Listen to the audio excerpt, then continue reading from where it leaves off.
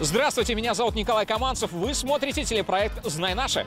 Один мудрец когда-то сказал, меньше знаешь, крепче спишь, больше знаешь, лучше ешь.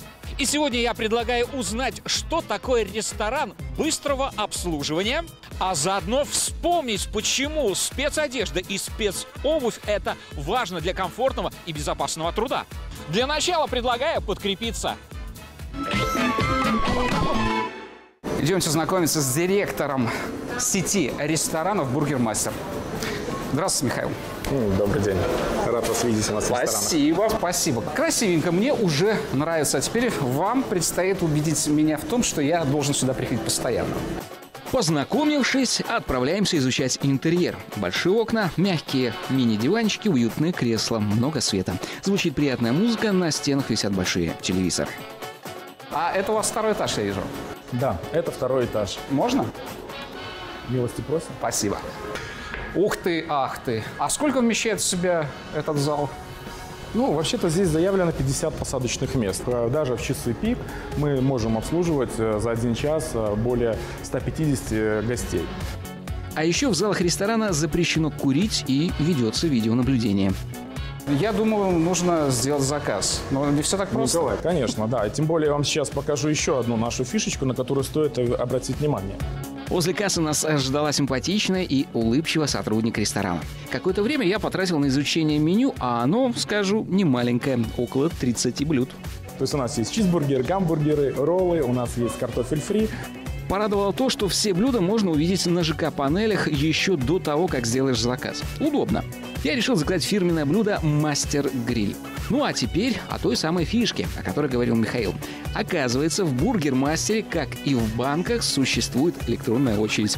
То есть Рассчитавшись, ты получаешь чек с номером заказа.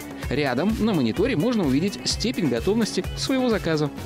11.40 на моих часах, и вот здесь вот статус заказа в 11.43 он уже будет готов, то есть 3 минуты.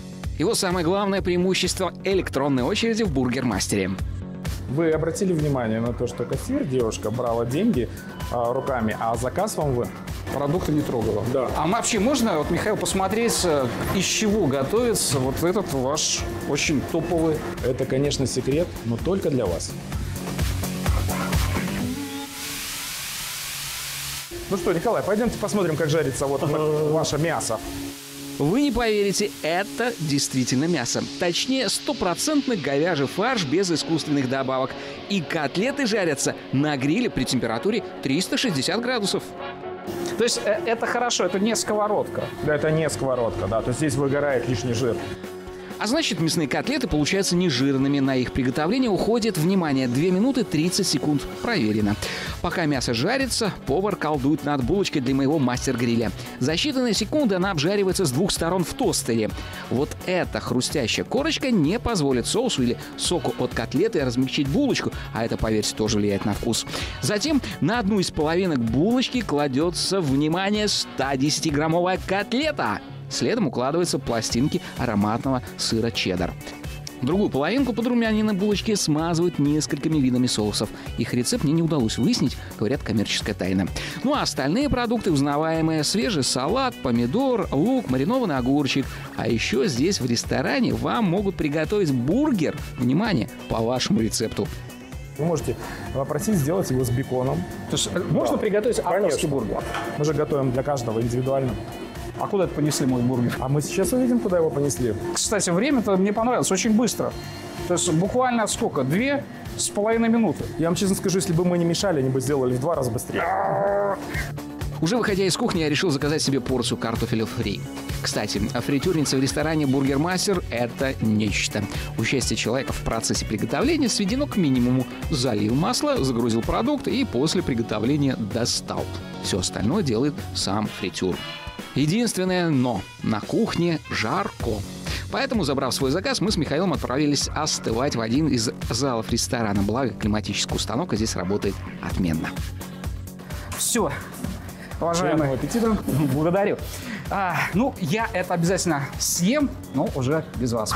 А, кстати, рекомендую.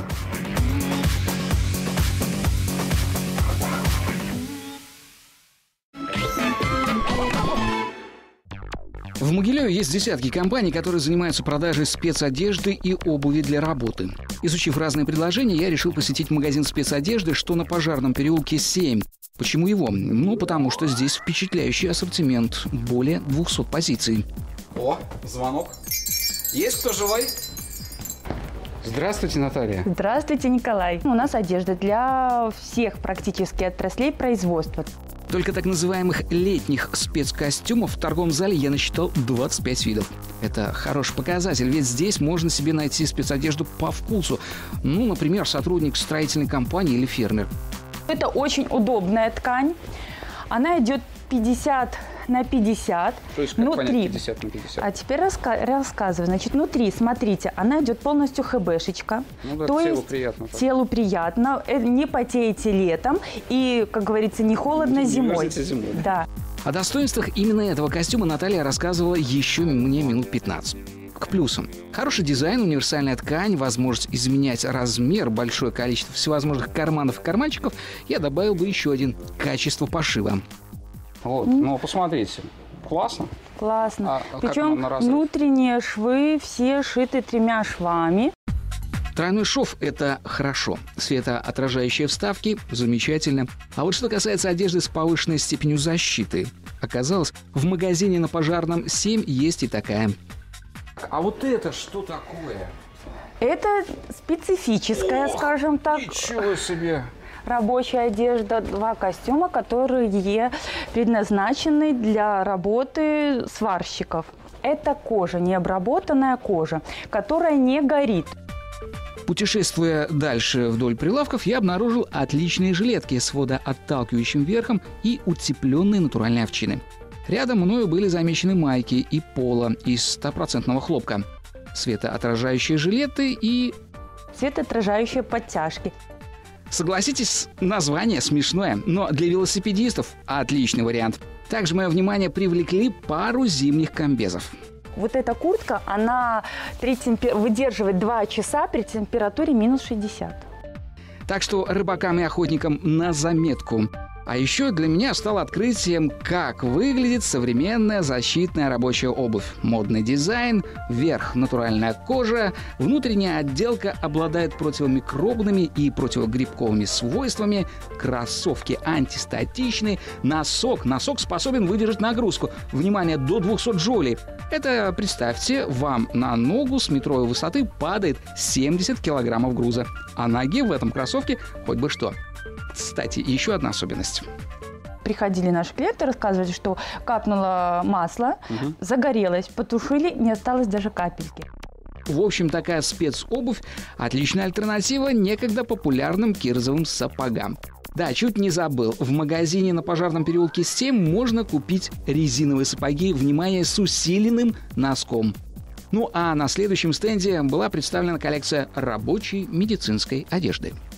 Есть костюмчики такие хирургические, которые уже подходят и женщинам, и мужчинам. То есть в основном это хирурги, все наши врачи мужчины. Я, я вижу стоматологи. Стоматологи. У нас есть такие халат, костюмчики, которые, то есть, ну, можно сказать, вообще для всех сфер обслуживания, включая не только медицину.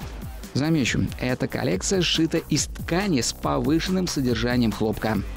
Ну и, также помимо одежды всей рабочей у нас присутствуют средства индивидуальной защиты.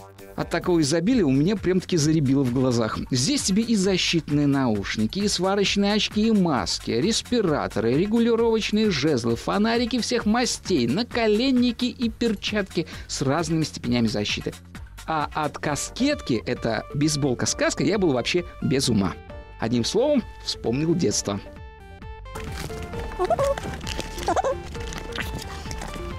Вы знаете, я вот в магазине спецодежды ощущаю себя как э, в детской комнате. А знаете почему? Здесь все ярко и все надежно.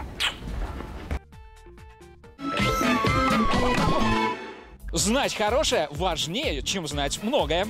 Смотрите телепроект «Знай наше» и делайте для себя полезные открытия.